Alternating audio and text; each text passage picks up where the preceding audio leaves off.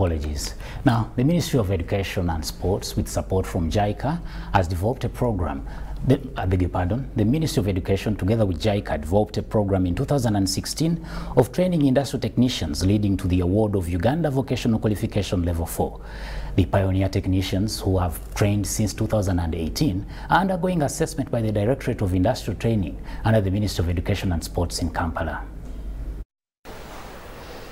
27 candidates from Nakawa Vocational Training Institute are undergoing competence-based assessment level 4 in two vocational occupations. These include vocational diploma in electrical and automobile engineering. The acting Deputy Director, Directorate of Industrial Training in the Ministry of Education and Sports, Dr. Michael Okumu says, the exercise is to verify trained technicians' competence achieved by the students. Is when when people go to the industry, they they do not think of coming back to upgrade themselves. So we it took some effort even to start level three, because they know if they have acquired the skills and that's the end. But you need to upgrade your skills through the level, which is the uh, Uganda Vocational Qualification level. The principal Nakawa Vocational Training Institute, Muwanga Fred, says this verification exercise will establish the level of competence achieved by the candidates.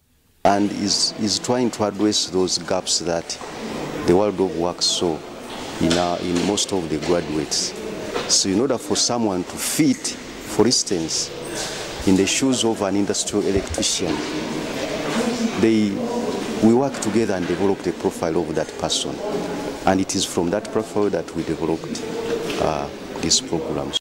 Muwanga adds that this initiative will boost the skills industry and create employment opportunities among participants. Yeah, it's a competitive course uh, and it's, uh, it's so practical. I have no doubt I, I am to excel in the job market every company needs that uh, the, a person who are very equipped with hands-on practice or skilled person. Like here, we are every every time touching on things. Such vocational skills acquired will greatly empower the youth towards employment. Sandra Kahunde, Henry Muganga, UBC News.